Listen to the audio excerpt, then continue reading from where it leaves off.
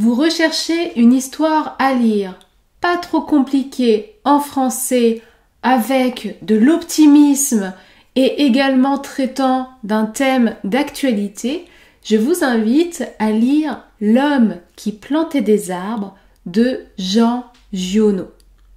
Cette histoire peut convenir aussi bien aux adultes qu'aux enfants. D'ailleurs, je trouve que le sujet de l'histoire, la morale qui arrive à la fin de cette histoire, je trouve qu'elle est tellement intéressante qu'elle devrait être étudiée et lue par tous les petits écoliers. Donc n'hésitez pas à la faire lire à vos enfants ou neveux également et pourquoi pas en français.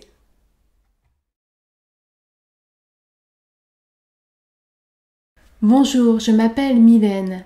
J'anime un club de lecture destiné aux apprenants du français.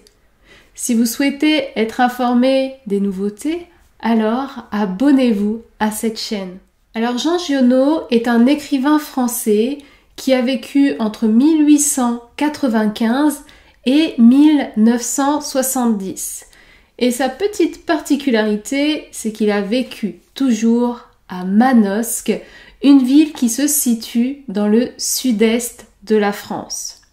Et du coup, notre histoire se passe dans le sud-est de la France, puisqu'il s'agit de l'histoire de Elzéar Bouffier, un homme qui vit reclus en Haute-Provence, et l'histoire se déroule entre 1913 et 1947.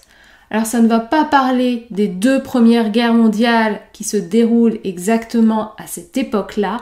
Par contre, euh, les deux guerres seront bien présentes, mais vraiment en arrière-plan. Et ces deux guerres sont vraiment à l'opposé de ce qu'essaie de construire Elzéa Bouffier, c'est qu'il essaie d'avoir un impact positif sur son environnement, il essaie de créer des choses pour l'homme. Il n'est donc pas du tout dans la destruction. Elzer Bouffier est un homme qui vit paisiblement dans une ferme en pierre, donc en Haute-Provence comme je vous l'ai dit. Il vit seul. Voilà, avant il y avait beaucoup plus de personnes aux alentours et en fait c'est tellement difficile de vivre là-bas, cette lande est tellement euh, aride que les hommes ne peuvent pas y vivre. Mais Elzer Bouffier y vit euh, simplement et en phase avec la nature. Alors au début de l'histoire, il a un petit troupeau de moutons et au fil de l'histoire, on voit qu'il ne peut plus conserver tout son troupeau de moutons puisque en fait, ça vient en concurrence avec ce qu'il essaie de faire à côté. Et donc, comme je vous l'ai dit, Elzer Bouffier va essayer d'avoir un impact positif sur son environnement, pour son propre bien-être, pour le bien-être de la nature et puis on le voit à la fin de cette histoire également pour le bien-être des hommes, puisque les hommes vont peut-être pouvoir revenir vivre à cet endroit. Donc cette histoire célèbre la nature avec espoir. Elle nous montre que en ayant une action quotidienne, on peut avoir un impact plus grand sur le monde qui nous entoure. Donc pendant des années, Elzéa Bouffier va travailler quotidiennement. Il va connaître des échecs, il va rebondir, il va s'adapter à la nature qui l'environne pour pouvoir mener à bien son projet. Et comme vous l'aurez compris, l'histoire se termine plutôt bien. Je vous invite vraiment à lire, découvrir cette histoire et à la faire découvrir également autour de vous. Je vous propose une lecture d'un extrait et je vous propose à la fin de cette vidéo quelques questions pour tester votre niveau de compréhension. Pour que le caractère d'un être humain dévoile des qualités vraiment exceptionnelles, il faut avoir la bonne fortune de pouvoir observer son action pendant de longues années.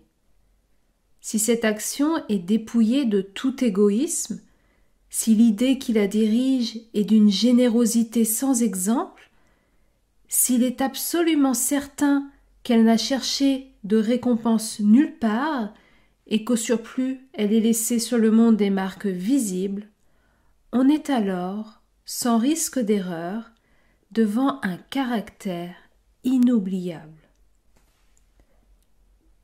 Il me fallut lever le camp. À cinq heures de marche de là, je n'avais toujours pas trouvé d'eau et rien ne pouvait me donner l'espoir d'en trouver. C'était partout la même sécheresse, les mêmes herbes ligneuses. Il me sembla apercevoir dans le lointain une petite silhouette noire, debout. Je la pris pour le tronc d'un arbre solitaire. À tout hasard, je me dirigeai vers elle. C'était un berger. Une trentaine de moutons couchés sur la terre brûlante se reposaient près de lui. Il me fit boire à sa gourde, et un peu plus tard, il me conduisit à sa bergerie, dans une ondulation du plateau. Il tirait son eau, excellente, d'un trou naturel très profond, au-dessus duquel il avait installé un treuil rudimentaire. Cet homme parlait peu. C'est le fait des solitaires, mais on le sentait sûr de lui et confiant dans cette assurance. C'était insolite dans ce pays dépouillé de tout. Il n'habitait pas une cabane, mais une vraie maison en pierre, où l'on voyait très bien comment son travail personnel avait rapiécé la ruine qu'il avait trouvée là à son arrivée. Son toit était solide et étanche.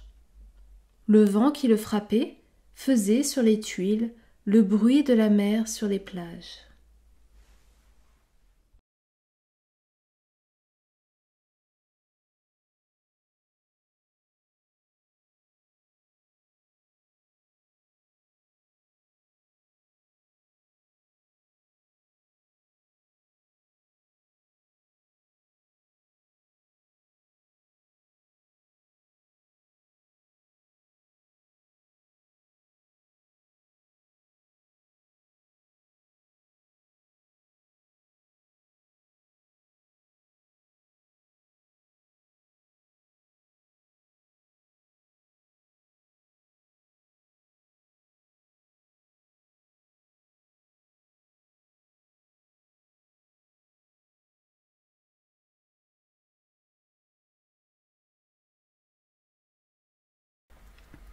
Les réponses à ces cinq questions figurent dans la description de cette vidéo. Si vous souhaitez découvrir d'autres lectures, alors allez cliquer sur cette vidéo. À très bientôt.